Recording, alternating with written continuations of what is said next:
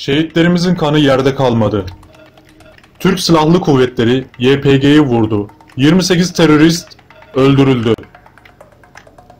Milli Savunma Bakanı Hulusi Akar, şehitlerimizin kanları yerde kalmadı. Saldırıları gerçekleştiren 28 terörist etkisiz hale getirdik dedi. Silahlı Kuvvetler Komuta Harekat Merkezi'ne gelen Milli Savunma Bakanı Hulusi Akar, Genelkurmay Başkanı Orgeneral Yaşar Güler, Ka- Kara Kuvvetleri Komutanı Orgeneral Ümit Dündar, Deniz Kuvvetleri Komutanı Or Amiral Adnan Özbal ve Hava Kuvvetleri Komutanı Orgeneral Hasan Küçük Akyüz operasyonları sevk ve idare ediyor.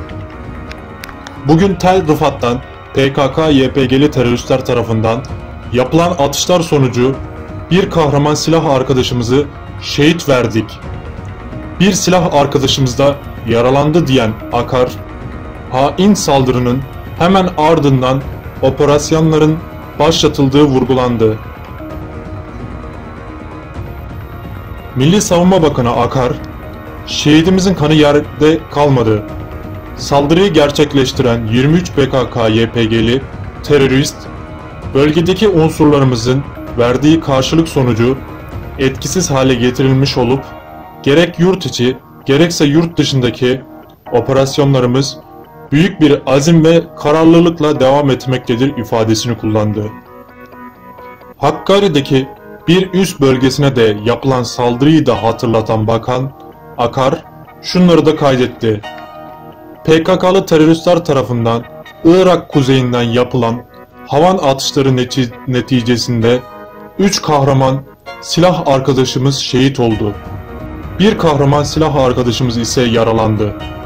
Olay sonrası teröristlere ait hedefler meşru müdafaa hakkı kapsamında bölgedeki kara ateş destek vasıtalarımız ile derhal ateş altına alınmış olup hava harekatı ile desteklenen operasyonlar da başlatıldı.